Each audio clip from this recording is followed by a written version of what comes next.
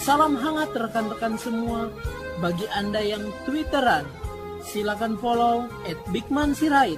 Mencermati keseharian kita sebagai anak bangsa. Silakan broadcast ke rekan-rekan kita. Tuhan memberkati.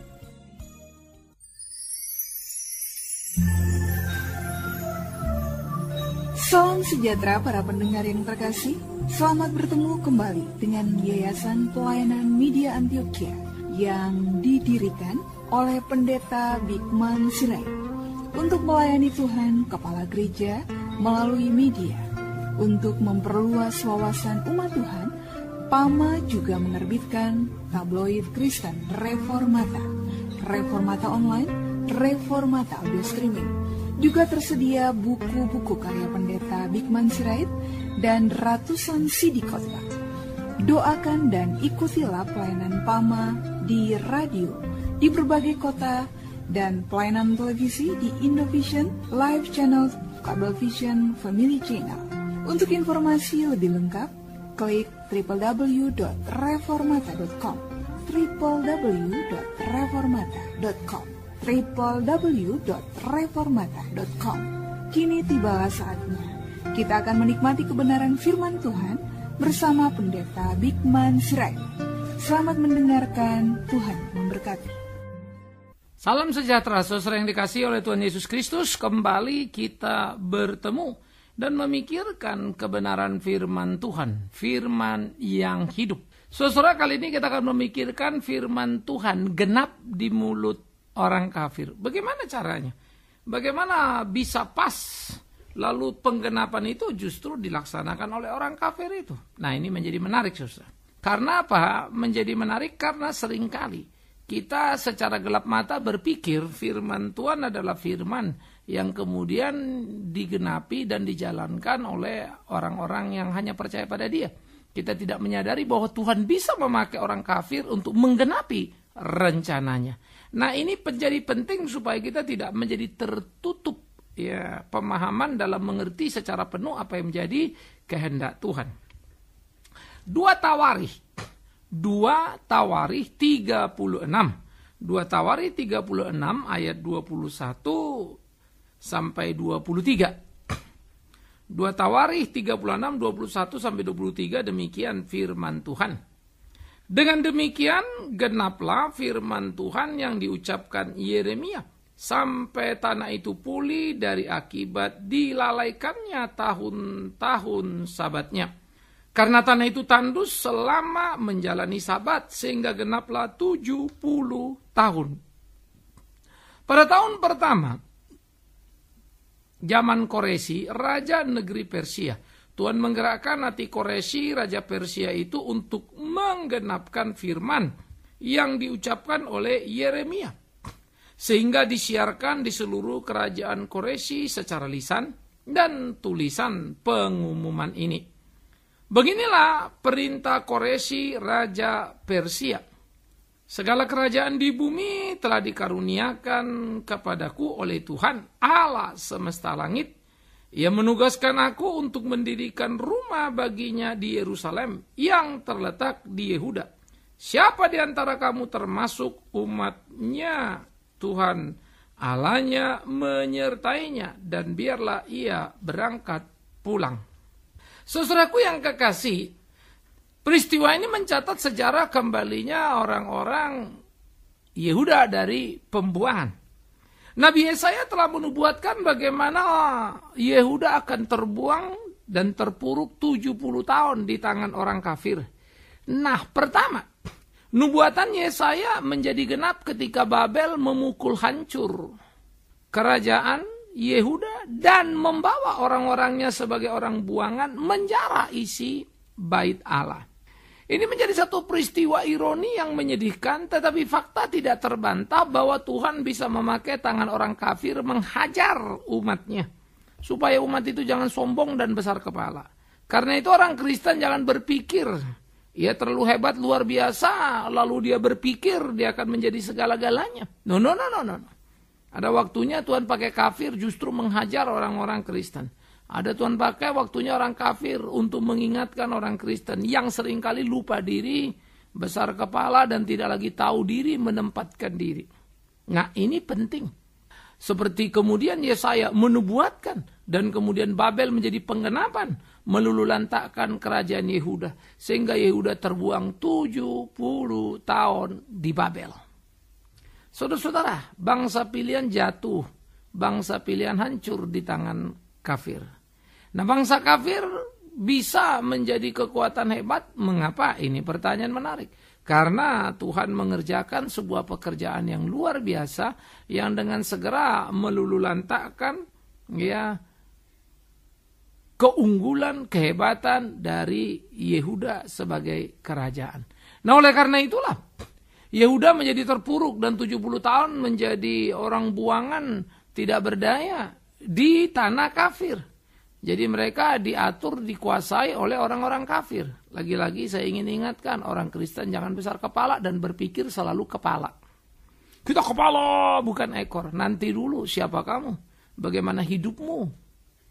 Tuhan tidak berkenan kepadamu kalau hidupmu tidak sungguh-sungguh. Kamu bukan kepala akan dijadikan ekor. Dan selalu ingat, kepala itu bukan soal kaya, kepala itu bukan soal sehat, kepala itu bukan soal hebat. Kepala itu soal model Bagaimana orang bisa menjadi model dalam hidup ini, garam dan terang dunia, itu loh kepala.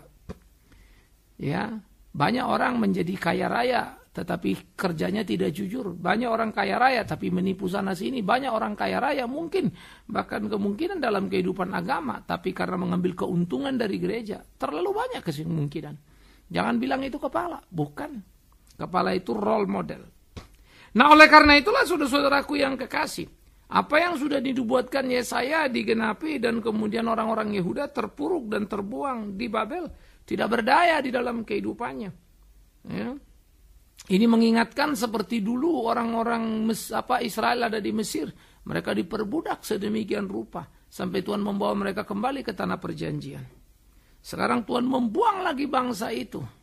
Kali ini dibuang ke Babel dan bukan ke Mesir. Lalu mereka terpuruk tiada daya di sana. Apakah karena mereka hebat mereka bisa pulang dari Babel? Bukan. Apakah karena mereka jago mereka bisa keluar dari Babel? Bukan.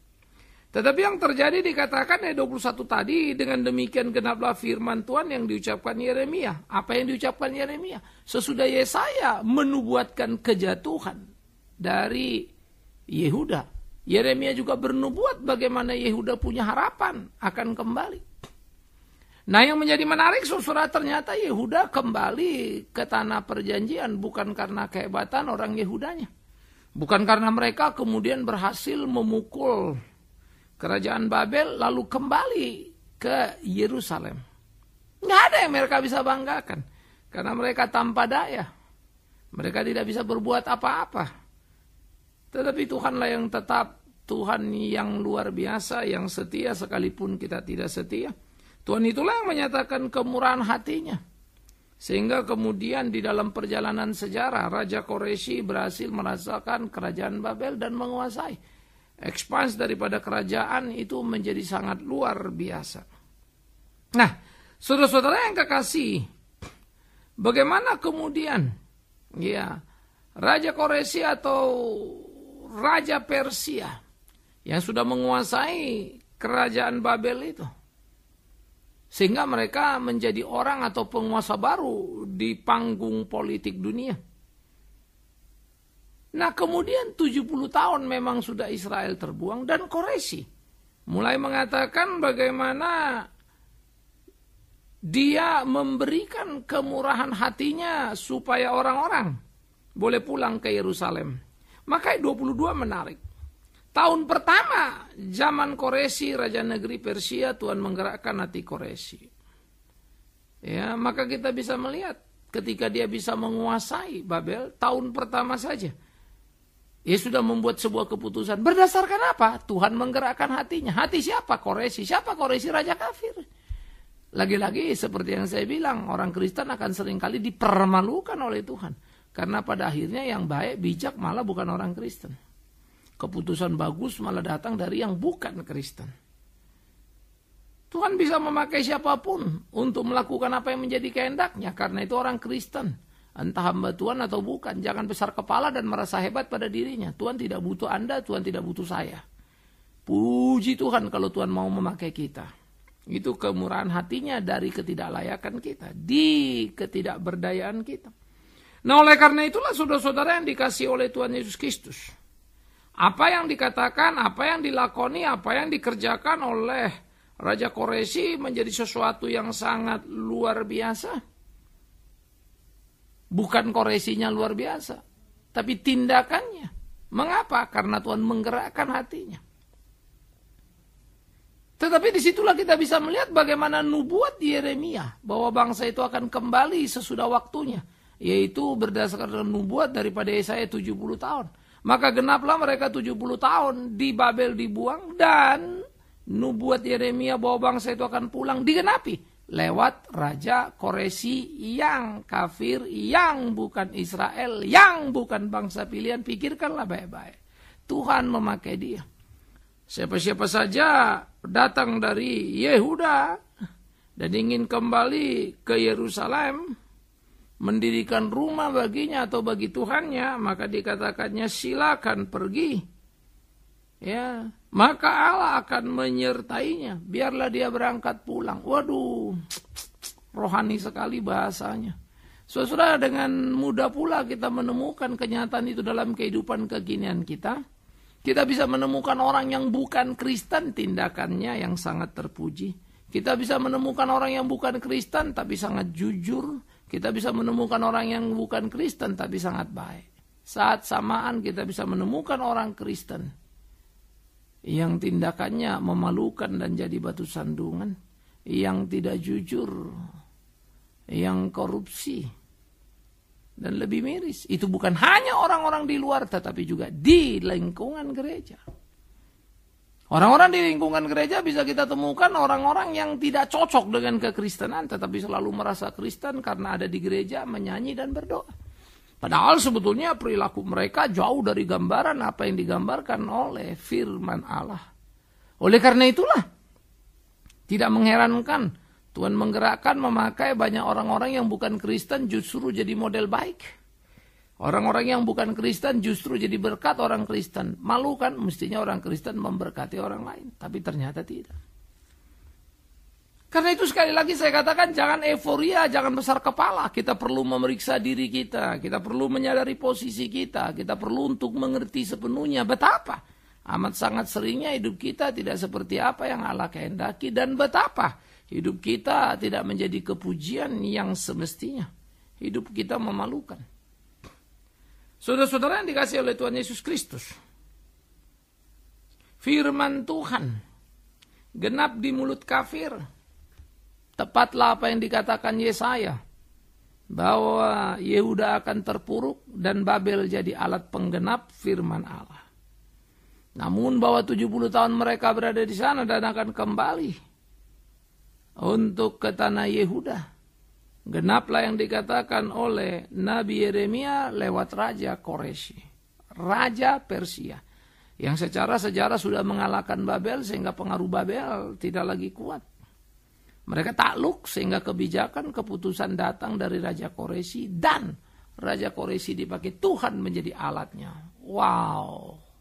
Saudara-saudaraku yang dikasih oleh Tuhan Yesus Kristus. Betapa pentingnya kita merenungkan posisi diri. Betapa pentingnya kita menyadari betapa kita sering jauh dari apa yang Tuhan kehendaki dan hidup kita tidak seperti yang Tuhan kehendaki. Kita memalukan. Nah oleh karena itulah saudara-saudara yang dikasih oleh Tuhan Yesus Kristus.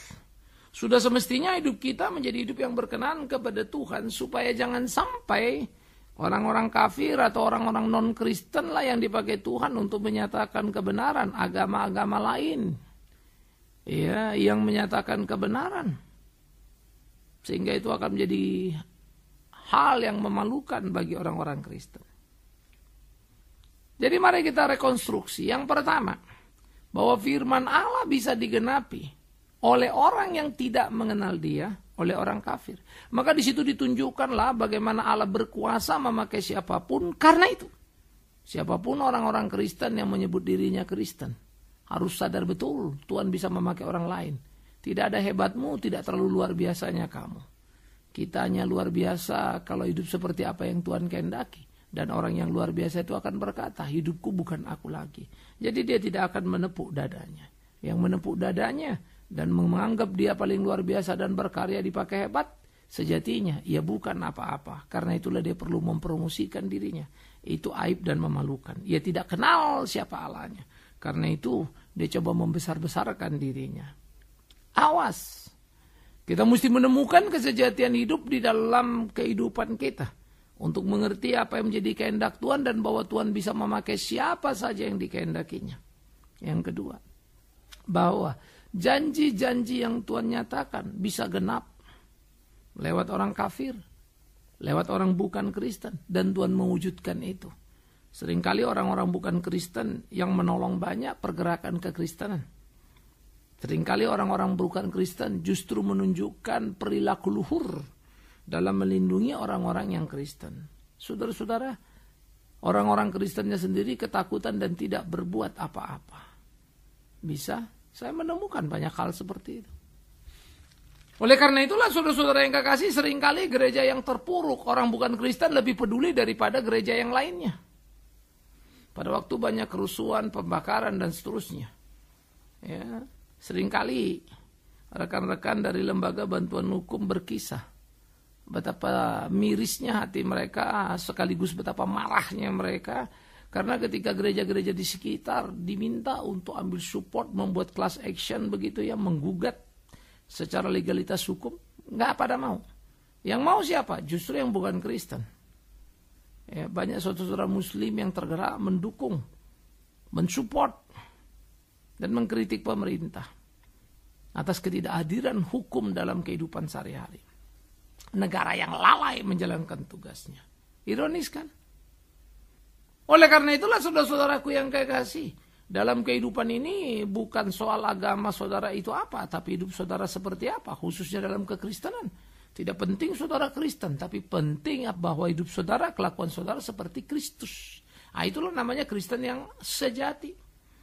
Kristen bisa saja agama, tapi bukan perilaku hidupnya. Itu bahaya. Nah oleh karena itu saudara-saudara yang dikasih oleh Tuhan Yesus Kristus. Bagaimana pengenapan firman Tuhan bisa lihat orang-orang yang tidak mengenal Tuhan. Dan bagaimana seharusnya kemudian hal-hal yang dijalani di dalam kehidupan. Supaya sungguh-sungguh kehidupan itu menjadi kehidupan seperti apa yang menjadi kehendak Tuhan. Sehingga di dalamnya sungguh-sungguh nama Tuhanlah ditinggikan, nama Tuhanlah dipermuliakan. Ini menjadi amat sangat perlu sehingga dengan demikian kehidupan kita menjadi kehidupan yang menyenangkan hati Tuhan, menjadi kehidupan yang memuliakan nama Tuhan, menjadi kehidupan yang berkemenangan. Bukankah itulah hidup yang diharapkan, hidup yang diimpikan dari kehidupan orang percaya? Itulah seharusnya yang kita punya. Itulah seharusnya yang kita jalani dalam hidup sehari-hari supaya hidup kita selalu menyenangkan hatinya. Nah saudara-saudara yang dikasih oleh Tuhan Yesus Kristus, bagaimana dengan kita? Tidakkah menjadi amat sangat penting kita menguasai diri, mengendalikan diri, supaya kita tidak salah melangkah di dalam tiap hari-hari yang kita jalani. Hidup kita menjadi hidup yang berkenan kepada kehendak Allah, sehingga Allah sungguh dipuji, dimuliakan di sana. Sebaliknya menjadi pengharapan yang penuh. Ketika kita misalnya sebagai orang Kristen melihat orang Kristen yang lainnya masa bodoh terhadap pergumulan persoalan yang ada. Kita sebagai orang Kristen yang mungkin kesulitan dan sedang bahkan mungkin kelaparan, tapi orang-orang lain hanya berkata kami akan mendoakan tapi tidak berbuat apa-apa. Karena terlalu banyak sekarang orang berdoa dan menyebut diri pendoa-pendoa begitu ya. Yang selalu berdoa siang malam tetapi miris. Tidak pernah menolong satupun dalam hidupnya. Orang yang selalu mendoakan orang kelaparan tapi tidak pernah memberinya makan.